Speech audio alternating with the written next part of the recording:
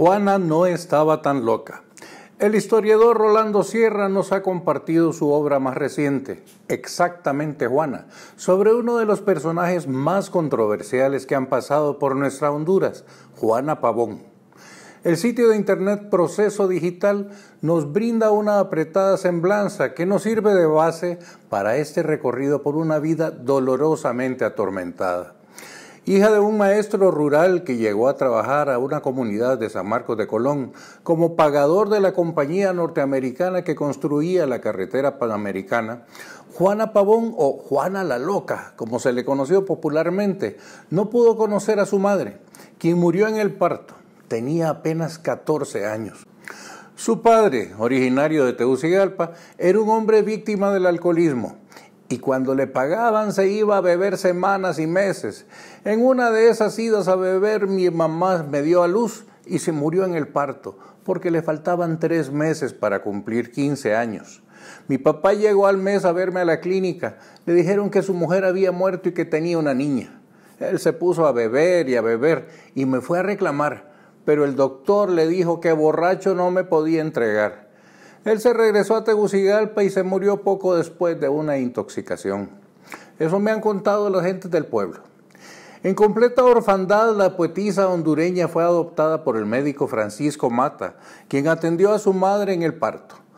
La asentó con el nombre de Janet Mata y años más tarde la esposa de este le cambió el nombre por Margarita Velázquez Pavón, que es el que tenía en su última cédula de identidad. Pero Juana no pudo disfrutar de sus padres adoptivos, pues la conflictividad política de la época, producto de los años en el poder del cariato, llevaron al doctor Mata al exilio y dejó a Juana en un orfanato en la capital. Y así fue su vida, rodeada de religiosas y religión. Con la asunción de Villeda Morales, el padre adoptivo de Juana Pavón regresó al país y la puso a estudiar en la Escuela Normal de Señoritas de Villa Humada en Danlí. De ahí regresó al sur y estuvo interna en el Colegio de Monjas que hoy es el Santa María Goretti de Choluteca, uno de los más prestigiosos centros educativos del país.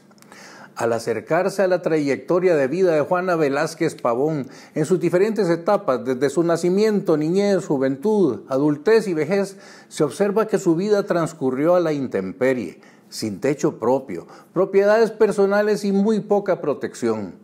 La crítica literaria norteamericana Janet Gold llamó a Juana la poeta de la calle o la poeta del hambre para el músico hondureño Alex Palencia, porque la poeta escribió desde su experiencia de orfandad, olvido, de soledades diurnas y nocturnas.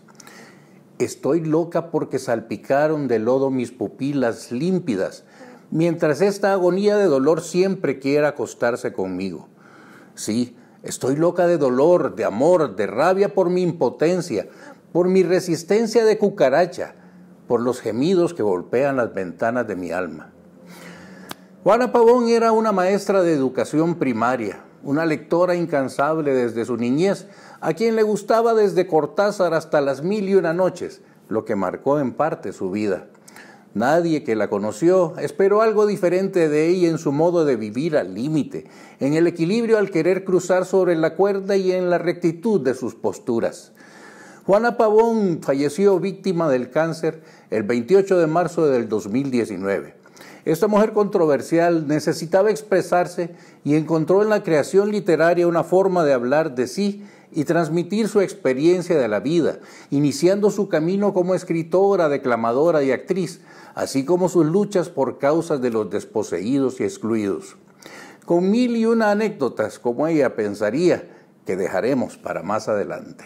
Están todos invitados a visitar mi página en YouTube, Un Minuto con Honduras, y porque de todo esto saldremos adelante. Con Honduras en el corazón ahora, usted también lo sabe.